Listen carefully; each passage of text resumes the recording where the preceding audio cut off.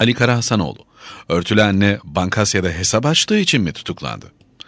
Dört kız annesi başörtülü hanım cezaevinde mektup yazmış. Başbakana değil de kendisinin halinden bir kadın olarak daha iyi anlar düşüncesiyle başbakanın eşi Sare Hanım'a yazmış mektubunu. Sare Hanım ne yapar ne yapabilir ne yaptı bilemiyorum. Ama mektubun tamamı olmasa da Gülen grubu medyasında yayınlandığı kadarıyla okuduğumuzda o mektup artık hepimize yazılmış sayılır. Dolayısıyla mektubu okumak, çağrıya kulak vermek sadece Sare Hanım'ın değil, hepimizin görevi. Ne diyor başörtülü hanım? Dört kız annesiyim, kendi halimde ev hanımıydım. PD'ye paralel devlet yapılanması davasında örgüte finansal destek sağlamışım. Suçum buymuş dediler. Düzgünce dinlemeden bizi içeri attılar. Söyler misiniz Sare Hanım? Bir tek maaşlı bir aile olarak dört çocuğu alnımızın akıyla okutmaya çalışırken ailemden aldığım maddi desteği, katılımcı banka olan Asya Bank'a yatırmakla nasıl örgüte finans desteği olunuyor?'' Gerçek bu ise bu işte bir yanlışlık var. Tamam, Bankasya'da çok yanlış işler oldu. Gülen'in çağrısıyla Bankasya'yı kurtaracağız diye. Hayatında faizle hiç iş yapmadığına inandığım nice insan o bankadan bu bankadan faizle kredi çekti. Çektiği 3 bin liraları 5 bin liraları nakit çıkışının dengelenmesi için Bankasya'ya yatırdı. Ama bunu sadece dört kız annesi Sare Hanım'a mektup yazan başörtülü hanım yapmadı ki. Belki bahsettiğimiz bayan bankadan kredi çekerek değil, evdeki bir parayı götürmüştür. Dolayısıyla onun da faize bulaştığı şeklinde haksız bir isnatta bulunmaktan Allah'a sığınırım. Bankasya yöneticileri illegal birçok işe imza attı. Somut gerçeklere dayalı haberlerimiz için gazetemize birçok dava açtılar.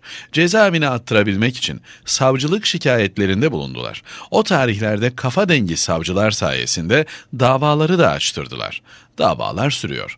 Onların bize haksızlık yapması, bizim de onlara veya onlara destek verenlere haksızlık yapılmışsa sessiz kalmamızı gerektirmez.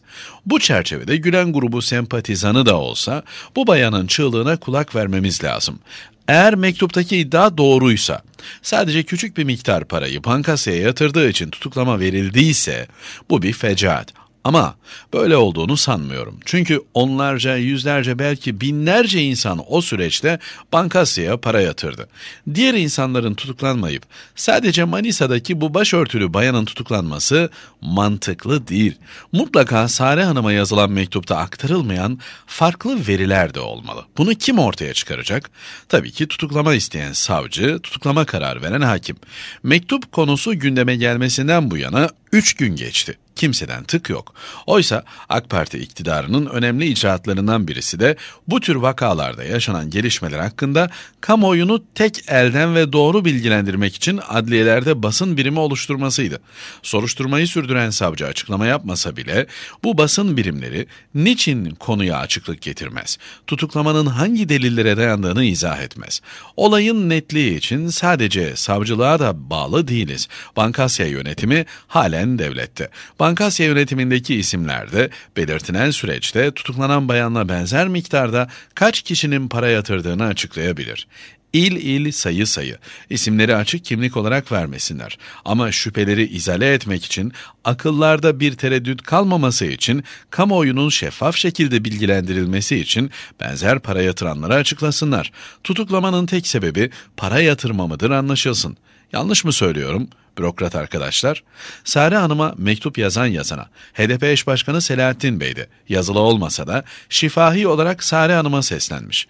Eşi Başak Hanım'ın rapor alarak öğretmen olduğu okula aylardır gitmediği haberlerimizi hatırlatıp Akit'teki yayınlardan rahatsızlığını aktarmış.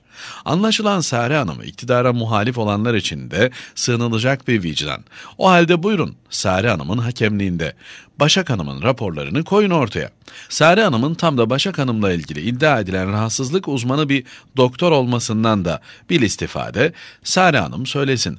O rahatsızlık Roma'ya gitmeyi, adalarda bisiklet binmeyi ama okulda öğretmenlik yapamamayı gerektiriyor mu?